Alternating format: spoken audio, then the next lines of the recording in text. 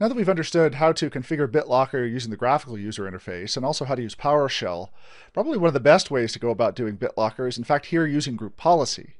And I've brought up a sample group policy object here called enable BitLocker encryption. And we're looking here at administrative templates, Windows components, and BitLocker drive encryption. So this is the group policy version of the local policy setting or the area that we were dealing with before.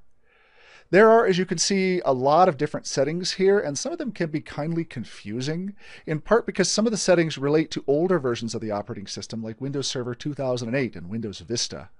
In some of these cases, some of the settings have been moved from this, the main folder location, into these three different subfolders that break apart the kinds of drives to be encrypted by how they interact with the operating system.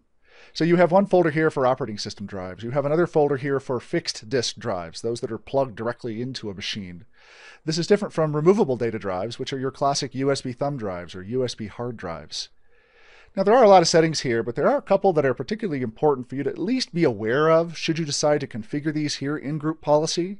Uh, just a couple here. I know I'm skipping over some of them, but some of the important ones, number one, are choosing what your encryption method and strength may be for actually encrypting the drive.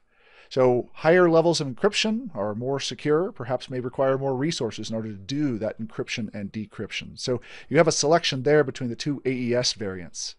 Down here, another one titled Provide the Unique Identifiers for Your Organization is one that can become necessary if you plan on using certificates as a data recovery agent for BitLocker.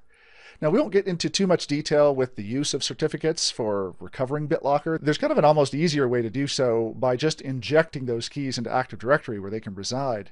But this is the location where you would enter in an identification field, an allowed BitLocker identification field, that corresponds with the certificate-based data recovery agent that you might use should you choose to go down the certificate route for your recovery agents. Up here then, under operating system drives, are another long set of those that you'll want to take a look at, particularly if you're going to be encrypting your OS drive, your, your C drive. Now, the first of which is one that we've already seen, this require additional authentication at startup. Now, to this point, we've only dealt with configuring it so that we can get away with not using the TPM chip. But if you do have a TPM, it's here where you can define the policy for what additional features are either allowed or even required in order to make use of that TPM chip. So for example, if you want not only to just allow a startup pin with a TPM, but to require it, you could do so here by setting the policy and then this setting down here at the bottom. Now, none of these work for us because we don't have TPM chips. We're just using the top item up here because it allows us to not have to use the TPM chip. But again, that's one of the locations where you can just further configure what kinds of additional protectors your users would use. I mentioned in the introduction to this course that those protectors and having to punch in those passwords can sometimes be a little challenging or perhaps a little ingratiating for users who just simply want to reboot or power on their machine. Well, I also talked about Microsoft's network unlock feature, which right here, there is a setting to allow the use of this network unlock feature to automatically unlock and decrypt a drive anytime the machine is connected directly into the local area network. Now, if you have access there into your LAN, if you have all the setup that you need to have that we'll talk about in a minute for using Network Unlock, if you have the proper certificate, which we'll also talk about down here, put into the appropriate location there in public key policies, well, this will allow you to eliminate the requirement for punching in that password at every startup. And arguably, this is a really good setting to have inside any LAN, because as you can imagine, if you have any kind of software delivery system or patch update system that requires a reboot to occur, if you don't have network unlock, well, anytime you deploy a piece of software or an update and force a reboot through those automated solutions, you're not going to end up with any kind of results or completion of that task until the person arrives the next morning and unlocks their machine. So again, kind of be careful with these because you're probably going to want to have some kind of network unlock so that you can support all these background solutions for the delivery of software and updates.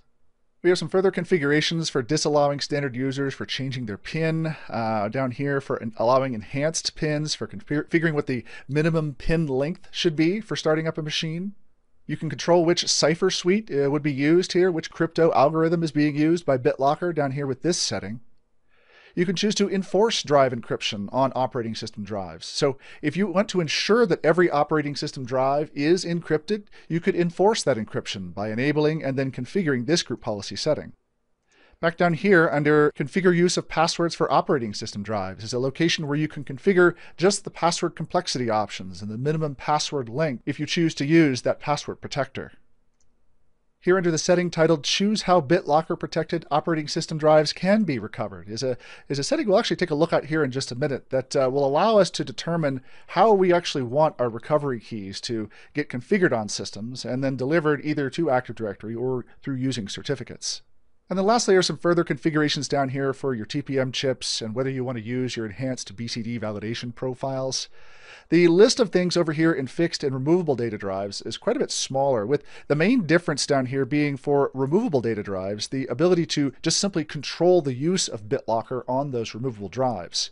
So if you have USB keys, if you have thumb drives, if you have uh, USB hard drives that people tend to plug into your environment, this switch right here, or this setting, would allow you to ensure that users have the ability to configure BitLocker protection on those removable drives.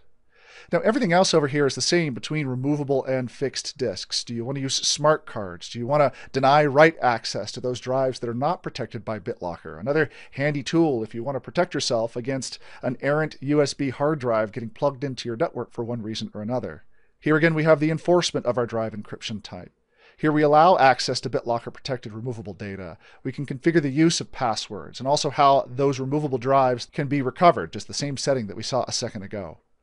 So as you can see here, there are quite a lot of different settings that can be used to configure and also enforce BitLocker on the different types of drives that you have.